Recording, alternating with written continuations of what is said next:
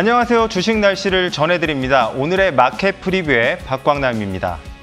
먼저 한국 마감 시황부터 보겠습니다. 코스닥 오늘도 개인 매수의 상승, 코스피는 하락했습니다.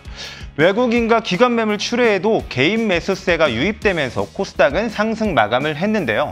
2차 전지주가 상승세를 주도를 했습니다. LG 에너지 솔루션의 미국 애리조나에 7.2조 규모의 투자 계획 소식과 미국의 IRA 전기차 세액공제 세부 지침 발표를 앞두고 그러한 기대감이 유입된 것으로 예상됩니다.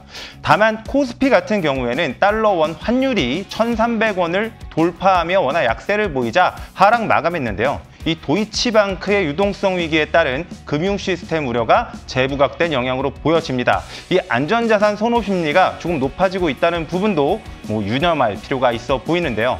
다음으로 오늘 아시아 증시에선 어떤 이슈가 있었는지 키워드로 만나보도록 하겠습니다. 마윈의 중국 컴백 소식에 알리바바 상승이라고 저희가 키워드를 꼽아 봤는데요.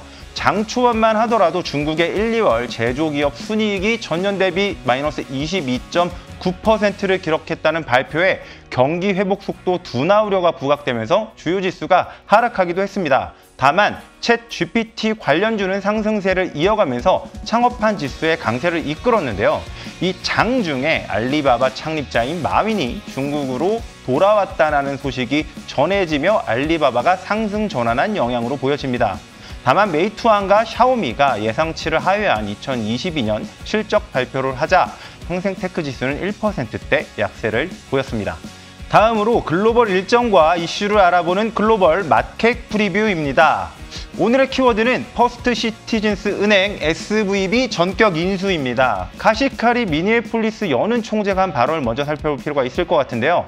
최근 은행 사태는 미국을 더 침체에 가깝게 만들었다라고 합니다. 문제는 신용 경색이 얼마나 심각할 것인가 라는 것인데요.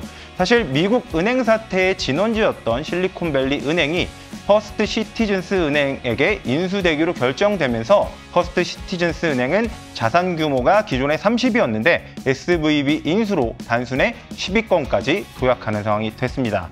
이런 SVB 사태 발생 이후에 일주일 동안 중소형은행에서 약 1,560억 달러의 어마무시한 예금이 유출이 됐는데요. 반면에 대형은행으로는 1,200달러의 예금이 유입되면서 약간은 상반된 흐름이 나타났습니다.